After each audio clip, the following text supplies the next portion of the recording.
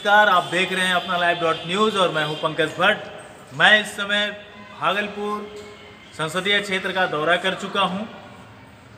सभी विधानसभा में गया, वहाँ के लोगों से बात की, वहाँ के जनप्रतिनिधि से बात किया।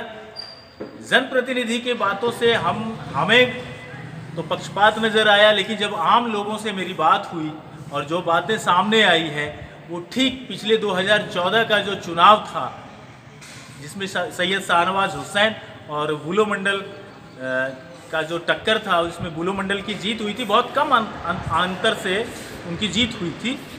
लेकिन इस बार परिस्थितियाँ बदलती नज़र आ रही हैं। लेकिन ये कहीं से भी नहीं कहा जा सकता कि कोई बुलो मंडल या अजय मंडल जीत ही जाएँगे। सस्पेंस बरकरार है।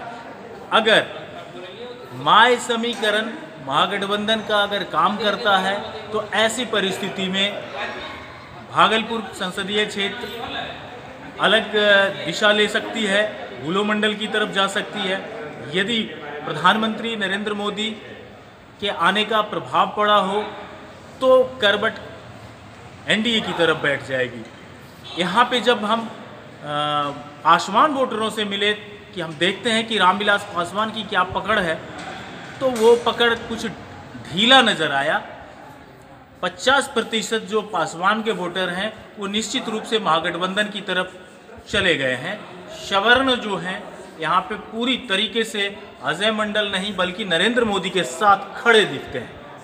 अजय मंडल यहाँ पे प्रत्याशी तो हैं, लेकिन चुनाव एक तरफ़ से अगर आप देखें तो नरेंद्र मोदी ही कहीं ना कहीं भागलपुर से भी लड़ रहे हैं। मैं पंकज भट्ट भागलपुर सैदपुर।